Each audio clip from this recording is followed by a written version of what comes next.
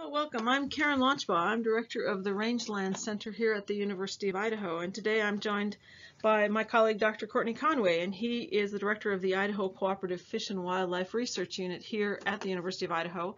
And uh, a few years ago, we got interested in a topic. I'm a grazing land ecologist, and uh, of course, uh, there's concern and interest in sage grouse, and uh, and livestock grazing is one of one of those topics. So uh, Courtney and I started working together and looking at the effects of grazing on on grouse. Right. So in 2014, we decided to put together a team of scientists and managers that would work with us to design a rigorous 10-year study to examine the relationship between cattle grazing and sage grouse demographic traits. Specifically, we are examining the effects of cattle grazing on 11 sage grouse demographic traits, a suite of sage grouse habitat features that we know are important to sage grouse, insect abundance, which is important to the growth of sage grouse chicks, and the abundance of coexisting other bird species that, that coexist with sage grouse. And to do this uh, ambitious project, we've had to enlist a whole suite of partners that have provided uh, financial support and logistic support to make this large project possible. Uh, it includes federal and state agencies, um, industry, and um, non-governmental organizations. Yeah, and we have a planning team. Uh, that this is not just Courtney and I doing this. We have a, a team of 10 of us that, that we meet regularly, and we talk about how the project is going and whether we're meeting our goals. So the project uh, footprint is we're working at five different study sites throughout southern Idaho. At each one of these study sites, we're measuring those 11 uh, sage grouse demographic traits. We're measuring intensive uh, vegetation parameters, including uh, biomass and grazing uh, intensity, and we're measuring insects abundance and um, uh, abundance of coexisting bird species at each one of these five study sites where we have our grazing uh, treatments replicated. This is a landscape scale uh, experiment uh, with a before-after component where we're comparing different grazing treatments. And now we're just going to give you a few of the highlights that we found up through this year.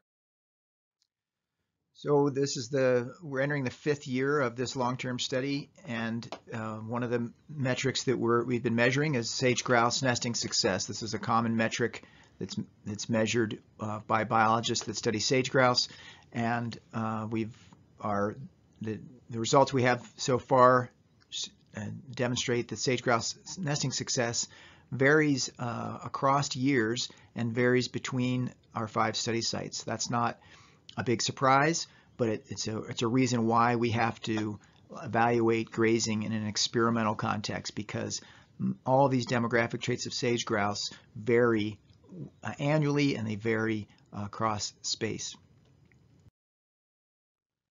Another parameter uh, that we're measuring for sage grouse is brood survival, the, whether the chicks, uh, after they hatch, whether they survive or not. And that also is a parameter that varies across study sites and across years. But um, the the estimates that we have so far from from our study for both nesting success and brood survival are within the range of what's been reported by uh, other study other past studies of sage grouse. And, we know from past research on sage grouse that grass height is important because uh, it, it, can influence the how well grouse uh, nests are um, concealed. And also it is something that livestock grazing can influence. So every year we go out and measure uh, thousands and thousands of grasses. We've measured over 100,000 grasses at our research sites. We also measure them in a variety of ways. We measure droop height, which is a measurement that many BLM uh, protocols use, which is just the maximum height. We measure visual obstruction. We measure leaf height. We look to see if the grass is, is grazed or ungrazed and if it's under or between shrubs. So we're really trying to get a sense of what affects grass height and how variable is it. And so in this graph, you can see there's just uh, quite a bit of variation uh, from site to site. So each of those bars is a different site. And of course, some grasses are taller than others. That's not a surprise. Uh, but what's interesting is that uh, it, it, varies from site to site, which is the tallest grass and, uh, and which of those really is high in any one year. We do also look at year-to-year -year variation because guidelines that are written to uh, manage grass height, of course, are static, uh, that they, they don't change from year to year, and yet grass height changes a lot from year to year. You can see from this grass that grass height can vary from two to six inches from one year to the next. So again, we know that sometimes grass is more abundant in one year or another, but we're trying to really get a handle on how variable is that and, uh, and how, how might we measure that. And of course, we're then relating all of these vegetation metrics to sage grouse demographic traits. So, and one of the results we've uh, been able to demonstrate so far is that the percent of, of shrub cover differs between sage grouse nests and random locations within these study pastures. So in other words, sage grouse are seeking out the portions of these pastures that have the highest um, shrub cover because they place their nests under these shrubs and the shrubs act as a concealment um, feature to hide their eggs from predators. Yeah, and so then on that left bar, that smaller bar, we have these random plots of stay that we measure every year throughout the pasture to see how, how different are the areas that the grouse are selecting versus the random plots in the landscape.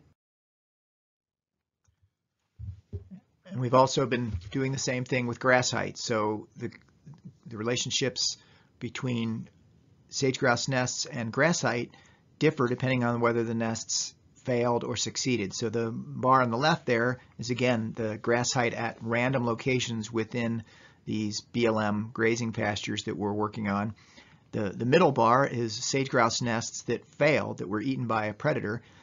And then the bar on the right are sage grouse nests that were successful. They, they hatched chicks and a predator did not find those eggs. And so as you can see, the grass height across all species combined was pretty uh, similar between random locations and failed nests, but nests that were successful had significantly higher uh, grass height. It was a couple inches higher in the successful nests. And that's a result that has been, uh, similar results like this have been reported in numerous previous studies, and these kinds of results are uh, what has dictated and influenced grazing policy in the west within the sage grouse range. Right, and these are all measurements at a plot, and so now we're we are trying to look at what's happening at a larger landscape. Right, so that the the previous slide it was are based on very intensive vegetation plots that that are at a 15 meter radius circle in a in a plot, so they're very small scale plots.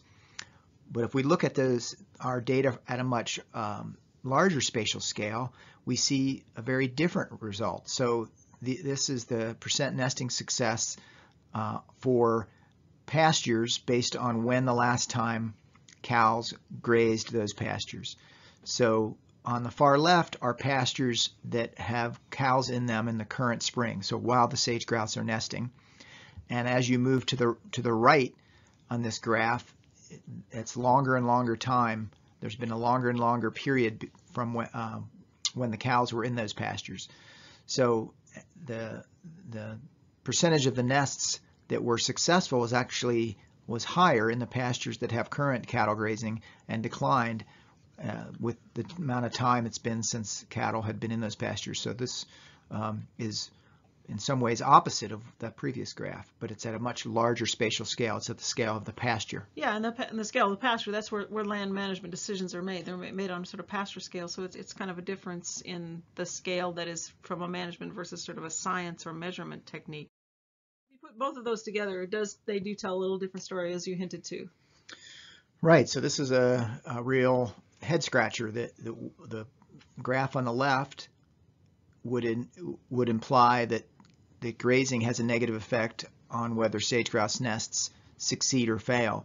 But the graph on the right, which is at a larger spatial scale, Im implies the opposite, that, that there's it implies that there's a benefit to having cattle in, in a pasture as far as nesting success is concerned. So these two results from the same study, the same years, are, are, are sending a completely opposite message as far as the relationship between cattle grazing and a single demographic trait, sage grouse nesting success. Right. It's quite interesting. It's important to remember, though, that these are correlative results. Our study is a 10-year study to, to look at the effects of grazing in an experimental context where we have explicit experimental treatments. The results we're presenting here that I'm showing, we're showing here are correlative results. They're not the basis of our experiment because those results are still not ready yet. And that's what's unique about this study. There have been correlative results like this on which management is based, but ours is a fully replicated experimental study. And that's what makes it novel. It's, it's the first of its kind. We also are starting to look at other parts of the landscape besides just uh, just the grouse demographic traits, and so uh, we're also looking at other birds. Right. So we we received a, a grant from the Western Association of Fish and Wildlife Agencies to conduct avian point count surveys on all of these pastures as well, because we don't we don't want to manage our landscapes uh, exclusively for a single species. So we've been doing really thorough uh, point count surveys for all birds in these grazing treatments. And uh, after two years of doing those point count surveys, not so surprisingly, there are some species that um, have higher abundance in, in ungrazed pastures. There's other species that have lower abundance in ungrazed pastures. And there's uh, also a group of species that, that don't show any relationship or any variation with grazing intensity.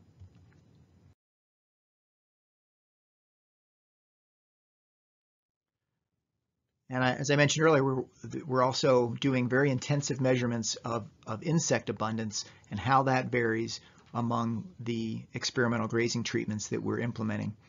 And so we're measuring the insects using two different methods, well, well developed, well-known traditional methods. One is pitfall sample, pitfall traps. These measure insect uh, of terrestrial insects, ground-dwelling insects. The other me um, method we're using is sweep nets. So it's a butterfly net where we walk transects and, and sweep the, the vegetation. So this samples the insects that are attached to grass and, and shrubs. You know, and I think this is an interesting part because a lot of people don't realize how important insects are to sage grouse, especially those those young chicks when they're just hatched. It's a pretty important part of their diet. And then, but also the question is, how how does grazing influence uh, these insects? Right, so we have some preliminary data on that question as well. Again, these are correlative results. They're not from uh, the results of the experiment yet because the study is still in its infancy. But from a correlative standpoint, we have already uh, have some compelling results that insect abundance, insect biomass is higher in grazed pastures compared to rested pastures. So the, the bars on the left in each one of these two plots are in pastures that were grazed in that current uh, calendar year, whereas the, the, bars on the right are pastures that have not been grazed in that calendar year. So both of these uh, graphs are based on insect samples in the summer, and there were substantially higher insect biomass in using both methods in pastures that had uh, current year grazing. Yeah, and of course we're also looking at the individual species so we know whether it was ants or beetles or other things. So a lot more to come on this topic, I think.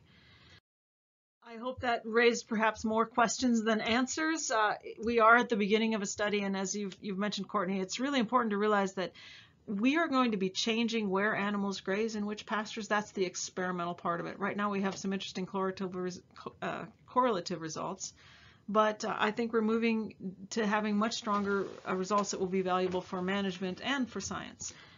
And uh, again, I think the fact that we have a team of people is really important. Right, and that that team of, um, of partners has been instrumental in getting support from ranchers that we work with. So the things, one of the things we haven't uh, mentioned yet is that we're this is a landscape scale experiment that moves cows around in a way that creates different grazing treatments. And so to do that, we have we we have to find ranchers that are willing to allow us to implement the experiments on their leases, on their um, grazing allotments. And so we interact very closely with these ranchers to uh, plan where they're going to put their cows and when so that we can create these different grazing treatments, including a, a, a no grazing uh, treatment that, that is where grazing is completely removed from a pasture. And so we're doing that uh, at each one of those five study sites. And um, it's it, uh, we've we're halfway through this study, and so it's really important to the ranchers even to keep this study going. They've invested a lot because they want to know the answers too. And so if we uh, don't succeed in seeing the, the the light at the end of the tunnel, if we don't uh, complete this this long-term experiment, I think the ranchers will be disappointed. Yeah, and the BLM folks that have worked with us, I think it's really the whole community that's that's around these land management and these permits. So uh, keep stay tuned, and uh, you can always get, contact us or learn more about the study at our website, which is idahogrouseGrazing.wordpress.com, or you can write to Range at the University of Idaho. That's range at uidaho.edu, and we'll get back to you. Thanks. Thanks.